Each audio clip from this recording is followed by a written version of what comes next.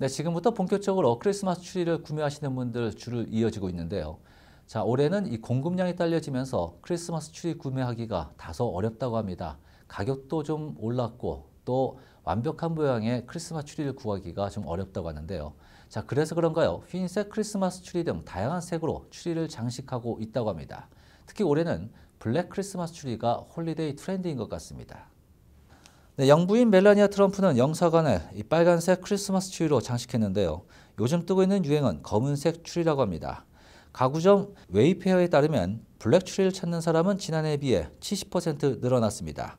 크리스마스 트리를 판매하는 웹사이트 트리토피아도 블랙이 가장 잘 팔리는 색깔 가운데 하나라고 말했습니다.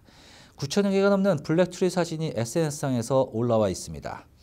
홈 데코레이션 정보 공유 사이트 핀터레스트에는 블랙 트리 사진만 12,000장이 저장됐습니다. 검은색은 어두운 색이라 이 장식과 전구들을 더 빛나게 해주기 때문이라고 하는데요.